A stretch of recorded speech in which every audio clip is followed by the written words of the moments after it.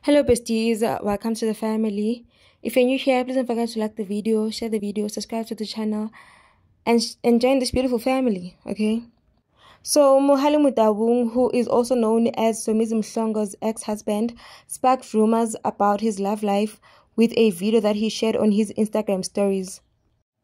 The footage of the alleged proposal is spreading on social media, and people are congratulating him on his new proposal. The reality TV star Mohale Motaung is allegedly engaged to a wealthy doctor and a businessman.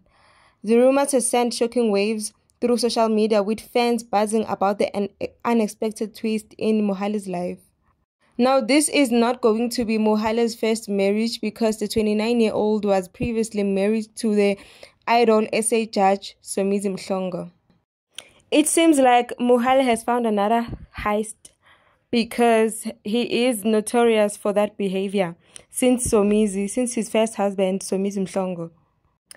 Let's just hope history does not repeat itself and what happened to Mohale's first marriage does not come to this one.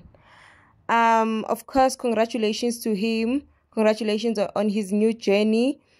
Um, I hope he learned from all of his mistakes. I hope, and I'm glad he left. If all of those things that he said about Somizi was true, and all of the um A B U S E that was happening in his marriage with Somizi was true, then I am happy that he has found someone else and you know he has moved along. And I hope that people can learn from him.